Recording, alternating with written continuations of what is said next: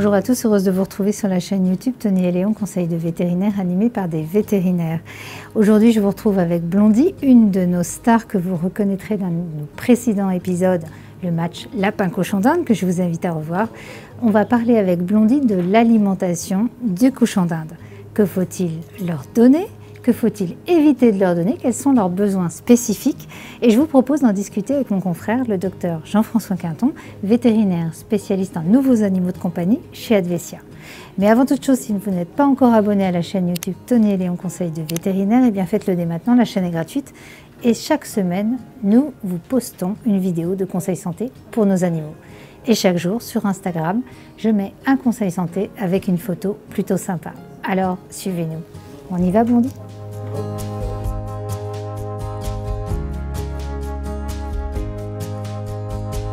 Bonjour Jean-François. Bonjour Valérie. Je te remercie de m'accueillir dans le service snack d'Advesia. Avec plaisir. Bah, tu as deux jolies avec petites des petits filles, cochons. là. Bah ouais, deux Oui. petits cochons. Alors, Blondie et Cacahuète, qui, Mmh. qui sont plutôt en forme. hein. Oui, elles sont. Bah, c'est- à ça qu'on reconnaît. Dis un bon cochon est un petit cochon d'Inde dodu. Il faut qu'il soit. Quand ils sont dodus comme ça, c'est que ça va. Bon, elles sont en léger surpoids.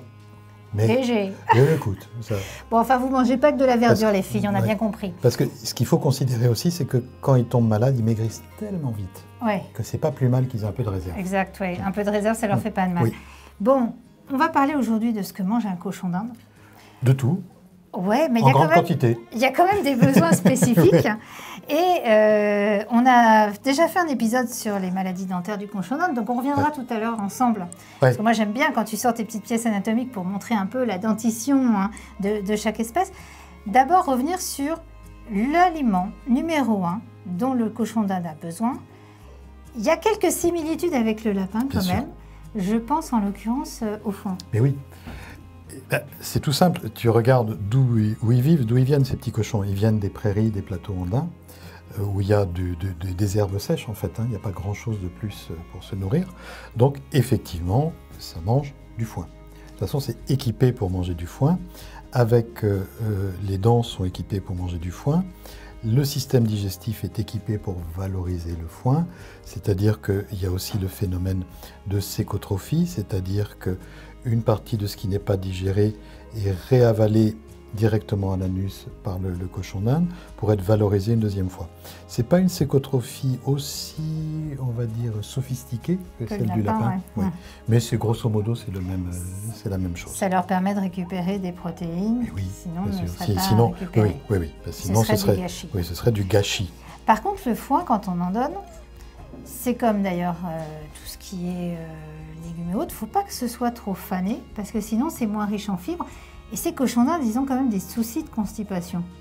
Ça oui. arrive. hein. Alors si, oui, s'ils mangent pas assez de foin, oui, ils peuvent avoir des soucis d'arrêt de transit en fait.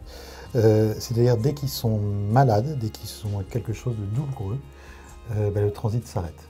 Et le, le- le fait de donner du foin, ça quand même, ça, ça évite que ces, ces- ces arrêts de transit soient trop, trop importants.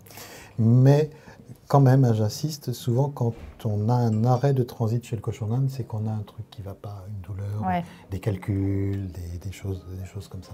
Mais alors le foin, c'est comme les légumes, finalement, faut pas que ce soit trop fané pour rester assez riche en fibres, parce que qui dit pas assez de fibres dit souci de motricité intestinale chez nos Des cochons d'Inde. constipations un peu, oui. Ouais, c'est ça, ouais. Alors, Bon. quoique la constipation, c'est souvent associé à des douleurs abdominales autres, calculs ou autres, mais quand même, euh, c'est important qu'ils aient un bon transit déjà si jamais il y a un problème. D'accord. Alors, il y a le foin, mais il y a aussi les fruits et les légumes. Oui. Alors, on va commencer par ceux qu'il faut surtout éviter.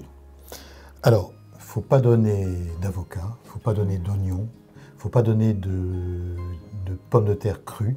C'est des trucs que tu me diras, on- ça ne viendrait pas à l'idée de. Ouais, Euh, les poireaux non plus, ils aiment pas trop. ouais j'allais dire les poireaux, les pommes de terre germées, c'est encore pire. C'est pire. ouais. Hein. Hein. Les pommes de terre cuites, à la limite, ça pourrait aller, mais enfin, bon, je vois pas, ça, ça- ça poserait des problèmes de, de transit.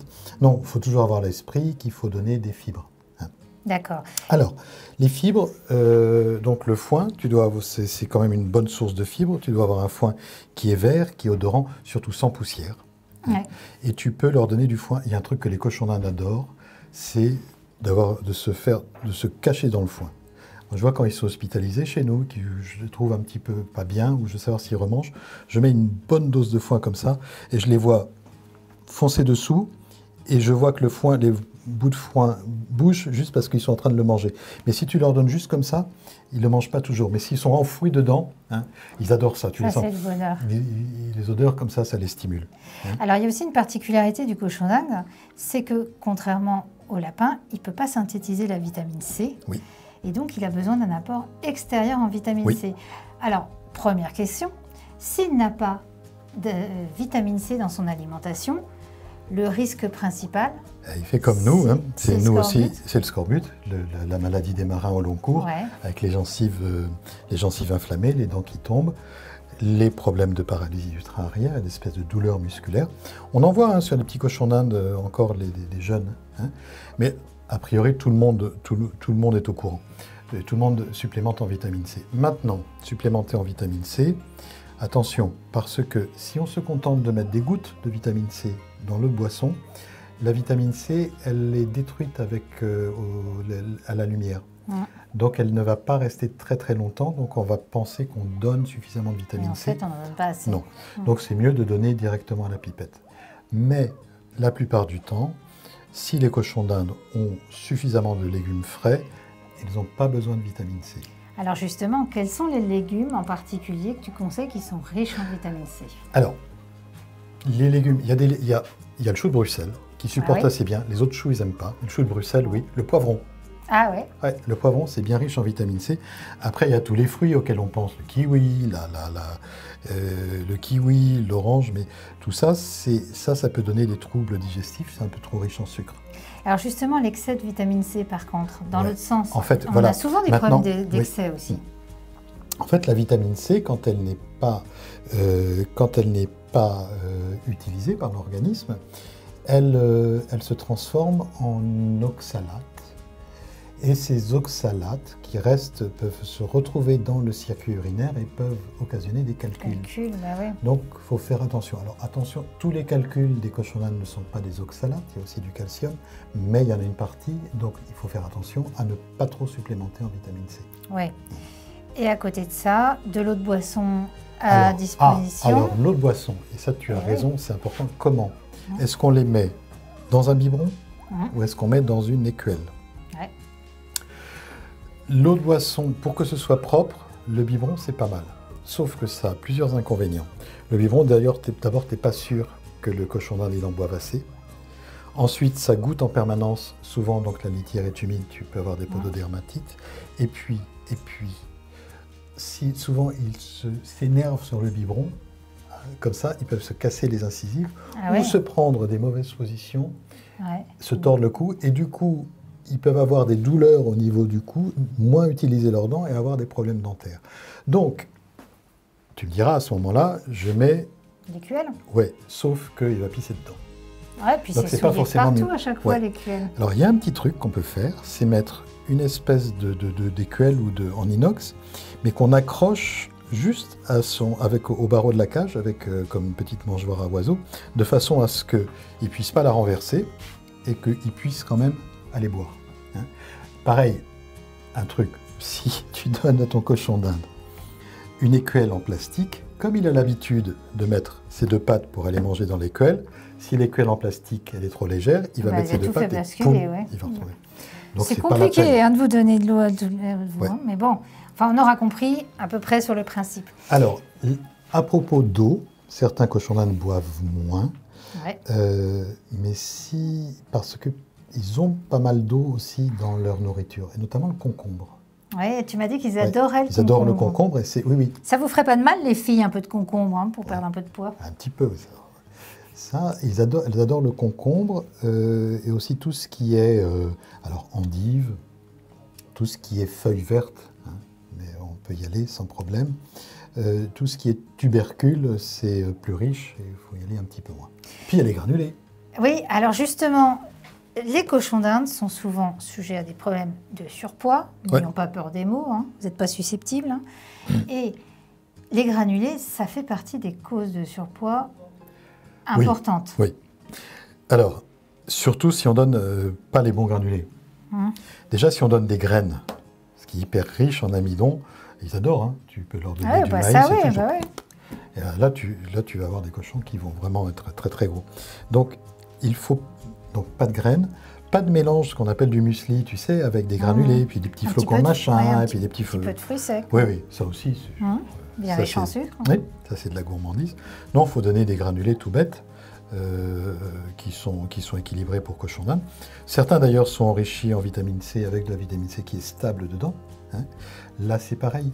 Si tu donnes des granulés, si tu, si tu achètes des granulés enrichis en vitamine C, et si tu laisses ton sachet ouvert, ben, la vitamine C va s'évaporer. Ouais. Donc il faut bien penser à fermer, fermer ça hermétiquement. Pourquoi pas mettre dans une boîte, tu vois. Des petits trucs comme ça qui sont importants. Et alors, le cochon d'Inde, on a déjà fait un épisode hein, sur les maladies dentaires du cochon d'Inde. Si on devait faire un, un- un tout petit euh, flashback Ouais. là-dessus, avec tes, tes petites pièces anatomiques, Alors- parce que c'est vrai que c'est particulier, c'est pas pareil que le lapin en fait. Non, non, c'est pas pareil. Ils mangent différemment. Ben, je vais te montrer. Ah oui, moi j'aime bien. Bon, les filles, hein, vous avez déjà vu, hein, donc. euh, Donc, c'est fichu comme ça, une, manche- une mâchoire de cochon d'Inde. Et en fait, le cochon d'Inde mange de cette façon-là. hum. Alors que le lapin, c'est mange plutôt. comme ça. la- voilà. Et pour pouvoir faire ce mouvement, il y a une grande, une grande laxité de l'articulation temporomandibulaire. La nôtre, notre articulation, on peut juste faire ça, on ne peut pas pas. Mm, Eux, ils peuvent. Et ça les rend extrêmement fragiles quand il y a un problème dentaire. Parce que, en fait, les problèmes dentaires du cochon d'Inde ne sont pas liés tellement à l'alimentation, mais sont liés à une douleur. Je te parlais du, du- du biberon ou d'une douleur ici au niveau des cervicales, et du coup, ça va être un petit peu douloureux pour mastiquer, ils vont moins manger. Si tu as une dent qui pousse, un abcès ou autre chose, à ce moment-là, et autant chez le lapin, c'est une dent qui pousse, il faut couper, raboter la dent, autant chez le cochon d'Inde, c'est toute une partie, ça veut dire, si ce côté-là, par exemple, il y a mal de ce côté-là, tout ben, c'est tout ce côté-là qui va pousser.